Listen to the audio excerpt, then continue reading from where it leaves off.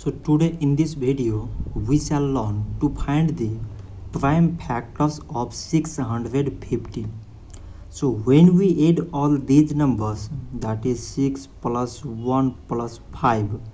then we get 12 and 12 is exactly divisible by 3 so these whole numbers are also divisible by 3 3 times 2 means 6 3 times 0 means 0 remainder 1 and this 5 15 3 times 5 mean 15 so now we got here 205 and it is exactly divisible by 5 5 times 4 mean 20 5 times 1 mean 5 so now we got here 41 which is a prime number.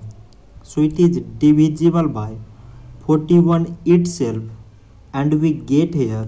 1 therefore 615 is equal to from this side we have 3 times 5 times 41 so 3 5 and 41